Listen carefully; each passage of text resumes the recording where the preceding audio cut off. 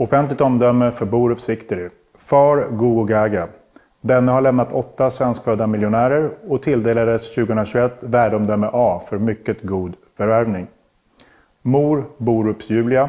Mormor Lipstick L. Mödernet har lämnat nio avkommor där den näst vinstrikaste är Borups Puma som har tjänat 149 000 kronor. Nämndens omdöme om hingstens härstamning.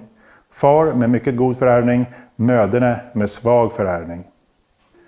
Prestationer. Borups Victory har hittills tjänat 3 113 440 kronor. Hans vinstrikaste lopp är andra platserna i de tre Grupp 1-loppen Margareta Wallenius Klebergs pokal, Sundsvall Open Trot och Säänejoki Race, samtliga tagna som femåring. Nämndens omdöme om hingstens prestationer. Prestationer av hög klass som femåring och med godtagbara unghetsprestationer. Veterinär beskrivning. Hingst visade full tävlingskondition med endast lindriga veterinära anmärkningar i form av kotledsgallor båda fram. Röntgen utan anmärkning. Exteriör beskrivning. Stor högställd lätt hingst med naturlig resning. Huvud med något konvex nosrygg. Högt ansatt välvd hals. Mycket hög markerad manke. Smal bringa, långa liggande bogar, djup bål, något kort rygg.